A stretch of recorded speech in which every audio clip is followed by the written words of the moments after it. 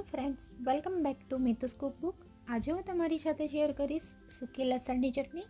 આ લસણની ચટણીનો ઉપયોગ તમે કોઈ પણ કાઠિયાવાડી રેસીપીમાં કરી શકો છો. કાઠિયાવાડી ઓળો કે દાળ, અડદની કે કોઈ પણ વસ્તુ બનાવી હોય તો તમે આનો ઇન્સ્ટન્ટ યુઝ કરી શકો છો. અને શિયાળામાં આ ચટણીનો ટેસ્ટ ખૂબ જ સારો લાગતો હોય છે. જો તમને આ રેસીપી સારી લાગે તો વિડીયોને લાઇક શેર અને ચેનલને સબસ્ક્રાઈબ કરવાનું બિલકુલ ના ભૂલતા. તો હવે આપણે અહીંયા એક ખાણી દસ્તો લઈ લેશું અને ખરલમાં આપણે પંદરથી વીસ કળી લસણની ઉમેરી દઈશું. હવે આપણે આ લસણને એકદમ સારી રીતે, ખૂબ જ સારી રીતે ખાંડી લેવાનું છે.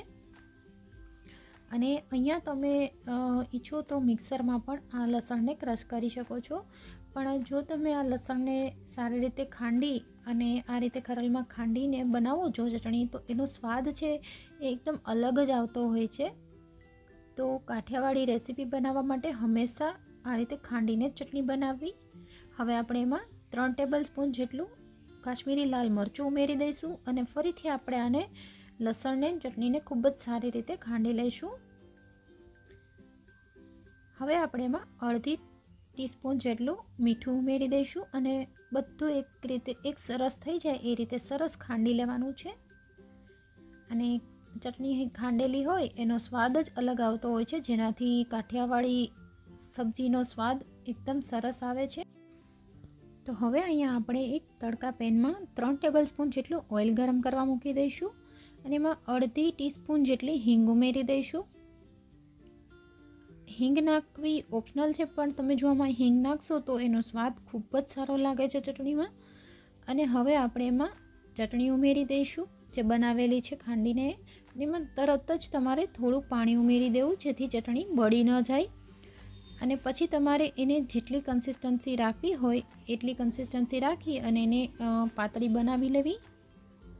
વધારે પાણી ઉમેરી અને આને આપણે થોડીક પતલી બનાવી લઈશું ચટણીને. અને એક મિનિટ માટે આમાં તડકા પેનમાં જ આપણે આ રીતે ચટણીને એકદમ એક રસ કરી લઈશું, પાણી નાખીને.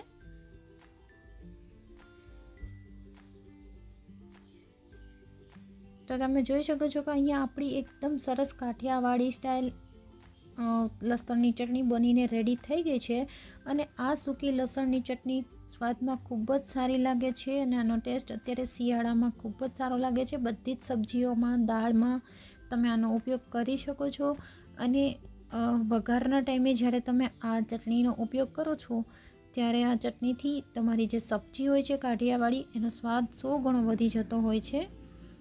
તો તમે આ ચટણીને સ્ટોર કરી અને ફ્રીજમાં આઠ દિવસ માટે પણ રાખી શકો છો.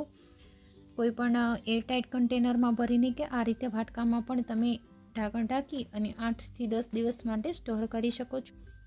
તો જો તમને આ સૂકી લસણની ચટણી બનાવવાની રેસીપી સારી લાગી હોય તો વિડીયોને લાઇક શેર અને ચેનલને સબસ્ક્રાઈબ કરી બાજુમાં રહેલા બેલ આઇકનને પ્રેસ કરી ઓલ પર ક્લિક કરજો. જેથી મારા દરેક નવા વિડીયોની નોટિફિકેશન તમને મળતી રહે.